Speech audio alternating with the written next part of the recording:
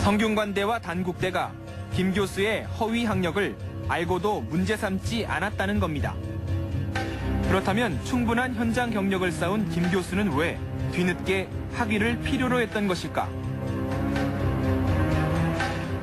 김홍란이가 개인을 정리하는 것보다 공부를 하면은 그다 학위를 가진 사람이 책을 내서 자기 공간을 발표해 주는 거 하고 그냥 민간인이 쓴 거하고 다른 그런 어떤 것 때문에 내가 공부를 하다 보니까 교수가 된 거지 나는 꼭 박사학위가 필요해서 공부를 한 건 아니었다.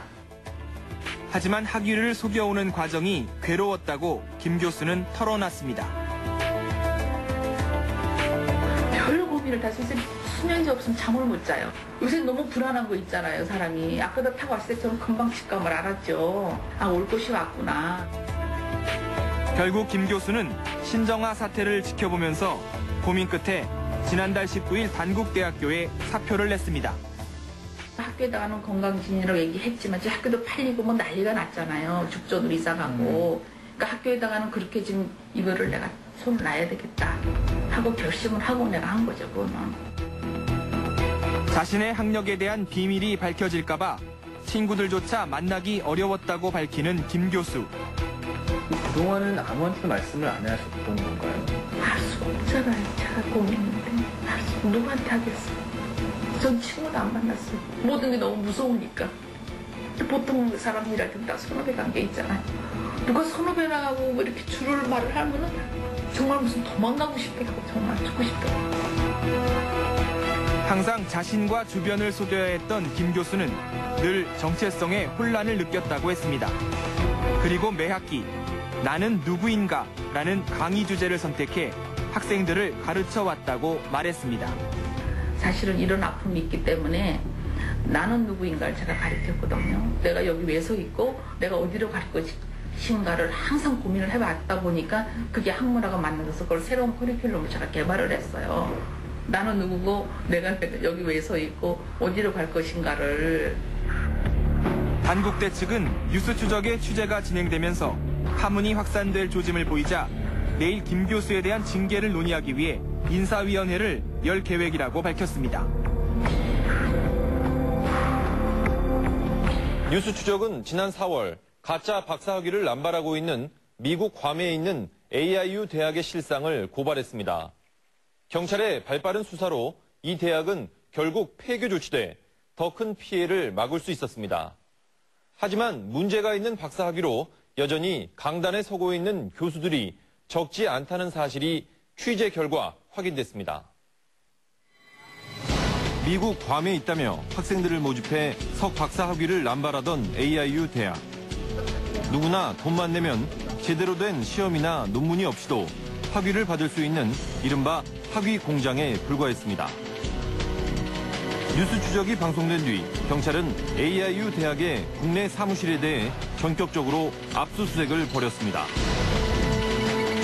국내에는 외국 대학의 분교나 국내 새로운 대학을 설립할 때는 교육인적 자원부의 인가를 사전에 받아야만 설립 설치를 할 수 있습니다. 근데 AUIU 같은 경우는 미국 괌에 본교가 있다고 하고 한국 내 한국 사무소 형식으로 대학을 운영하고 있는데 이 부분에 대해서 교육인적 자원부의 인가가 전혀 없이 그 결과 AIU 대학은 폐쇄됐고 경찰은 박사 학위를 받은 39명을 불구속 입건했습니다. 이들 가운데에는 현직 교수와 교사, 경찰과 전현직 구의원들도 포함돼 있었습니다.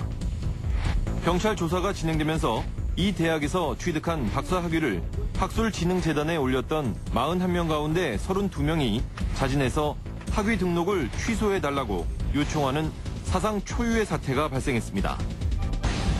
그런데 AIU 박사 학위를 내세워 임용된 교수가 지방의 한 대학에서 버젓이 강의를 하고 있다는 제보가 입수됐습니다. 이 대학의 다른 교수들은 엉터리 박사에 대한 학교 측의 사후 조치가 이루어지지 않고 있는 상황을 답답해하고 있었습니다.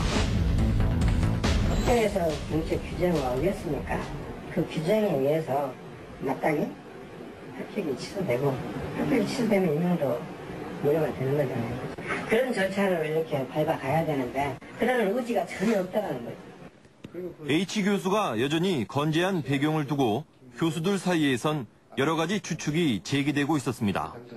그 문제 제기하는 사람들 조심해라. 잘못하면 내면에서 걸린다. 뭐 이렇게만 이렇게 이야기하기도 하고 그렇게 감수할 수 있다는 것은 서로 뗄 수 없는 예, 서로 뗄 수 없는 그 이전에 뭔가가 이미 관계가 맺어져 버렸지 않았냐 그렇게 생각할 수밖에 없는 거죠. 이 대학 구성원들은 교수 협의회조차 학교 측의 의견만 들을 뿐 전체 교수의 의견을 따르지 않는다고 주장했습니다. 그것이 사실일까? 그러나 교수 협의회의 입장은 조금 달랐습니다. 교육부가 명확한 처리 기준을 제시해주지 않아서 제대로 된 대응을 하기 어렵다는 주장입니다. 교육부에서 AIU는 정식 대학으로 볼수 없다는 한마디만 있어도 학교는 조치했을 거예요. 그다음에 학교에서 비록 학교에 등록을 했지만 이 AIU에 대해서는 학교에서도 대학으로 인정할 수 없다는 판단만 있었어도 아마 이 문제는 진작 정리가 됐어야 그렇다면 학교 당국의 입장은 어떤 것일까? 지난번에 SBS에서 강연을 이후에 이번에 간담회를 열었어요. 그 인사위원회 간담회에서 어, 의원이 모아주기를 하고 검찰이 수사를 하니까 그 수사 결과에 따르자 음, 그렇게 해서 어, 저희들이 검찰과 경찰의 수사를 기다리고 있었어요. 학교 역시 법원의 결정이 내려지기 전에 섣부른 조치를 내리기 어렵다는 판단을 하고